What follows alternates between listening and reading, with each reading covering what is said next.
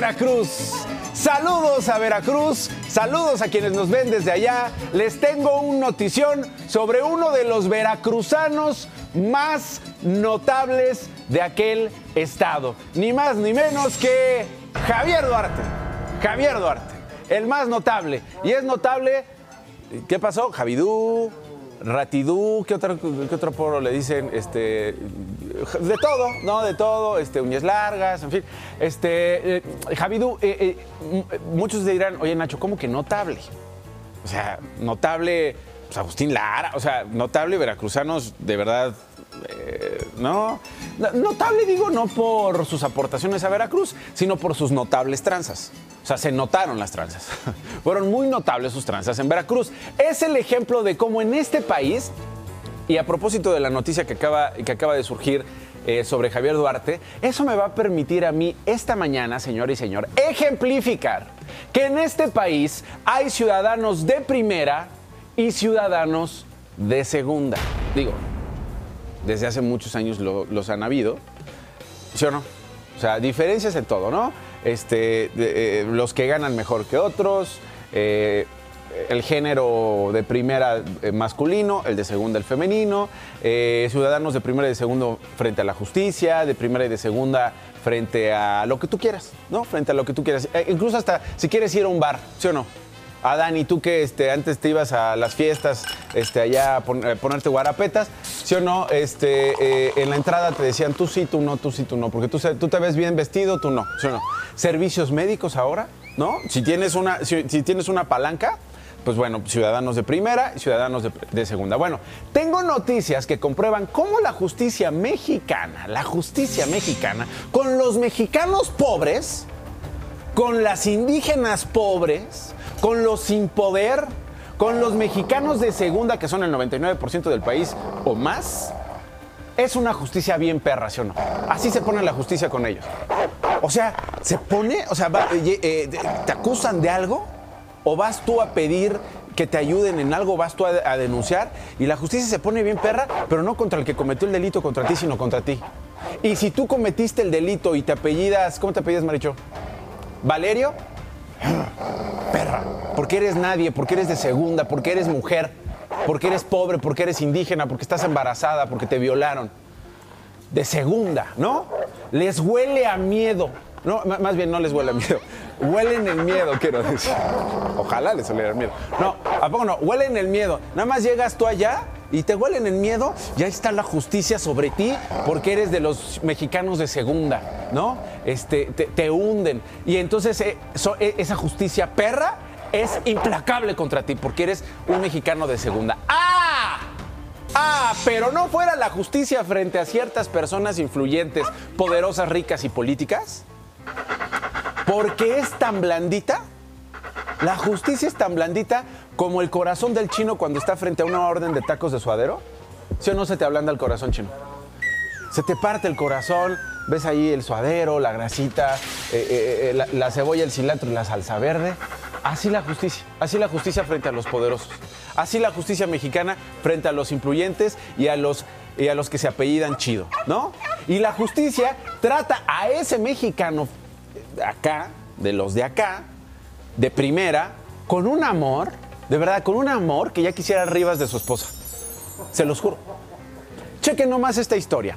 Esta semana, Isabel Porras Odriozola, magistrada del Tercer Tribunal Unitario Penal, revocó el decomiso, repito, revocó el decomiso de los 40 inmuebles cuya propiedad se atribuyó a los prestanombres del ex gobernador veracruzano Javier Duarte.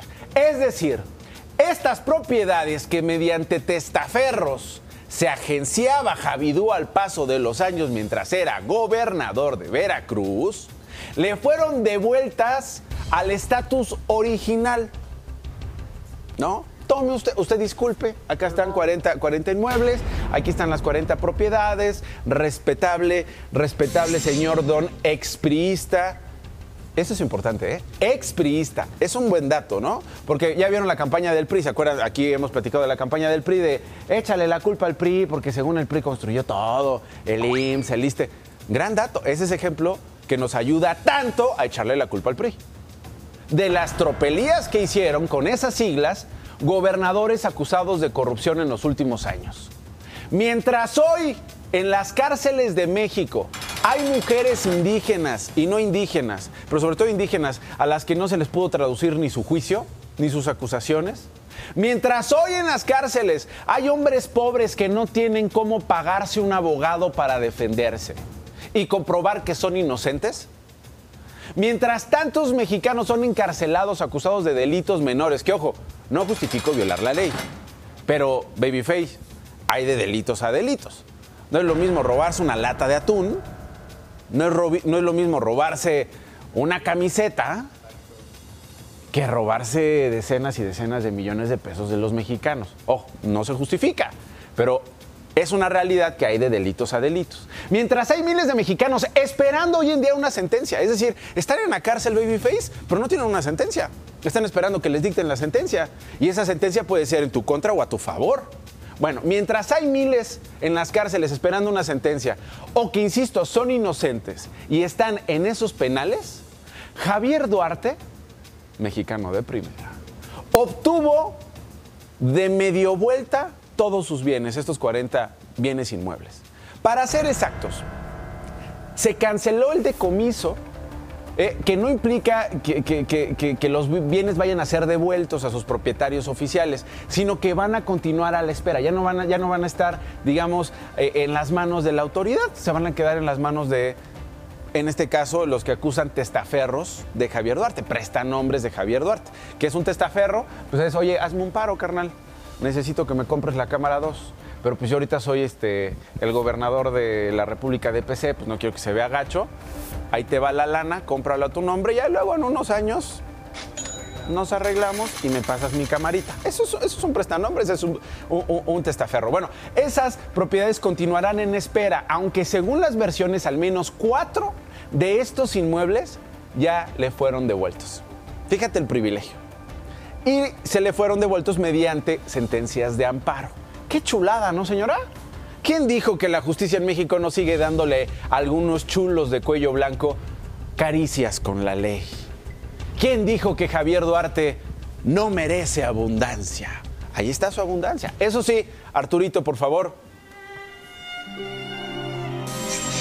Duarte alegó que había sido juzgado con pruebas ilícitas y pidió excluir los documentos bancarios que son la base de la acusación. O sea, le sacaron unos documentos bancarios de, él y dijo, es ilícito que hayan sacado esos documentos bancarios, argumentando que la Fiscalía General de la República violó su derecho fundamental al secreto bancario por obtener esos documentos sin orden judicial de por medio y, y pues, dice Javier Duarte, no se vale.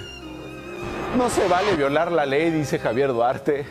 No se vale violar la ley para... No se vale. No se vale violar la ley contra Javier Duarte. No, o sea, no se vale violar la ley contra Javier Duarte. O sea, él sí puede, es contra Javier Duarte no. Pero la magistrada Porras le respondió que el propio Duarte, el propio expriista, había consistido, perdón, consintió, habría, había consistido, consentido. Pues así son bolas con la magistrada. Lo consisto, consiento, siento. Dijo la, la magistrada que lo consiente, señor Duarte. Sí, lo consiento. Ah, pues hable bien, parece periodista en las mañanas. El propio Javier Duarte había consentido, consintió que esas pruebas que ahora cuestiona como ilícitas, las había dado porque se declaró culpable en un procedimiento abreviado que negoció con la propia Fiscalía General de la República para obtener una pena más bajita, chiquita y bonita como Marichó. ¿Qué tal?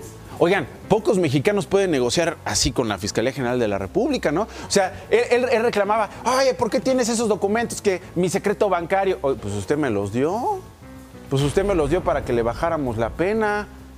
Ya no entendí, oiga. Y entonces dijo Javier, ah, yo se los di.